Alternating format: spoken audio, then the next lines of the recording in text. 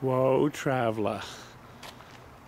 Now, if this isn't proof that blue cars are bad for you, whoa, look at that.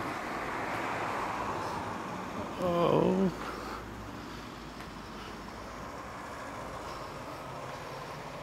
Most uncool.